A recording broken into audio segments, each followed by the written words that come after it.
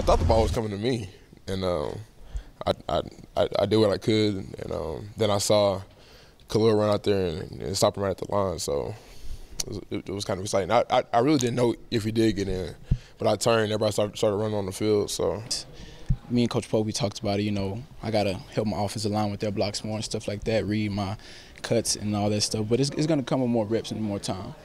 Well, I was Coach dialed me up for a blitz. Um, I blitzed the A gap. Uh, an offensive lineman knocked me down on the play. Um, I just got back up. I saw the quarterback was still, you know, he was still in the pocket, still at the ball. So I had every right to get up and, you know, uh, engage. I just got up and I went for a tackle and ended up getting a strip. And uh, Emeke Egbule, well, he was able to, you know, recover it and uh, take it home for six.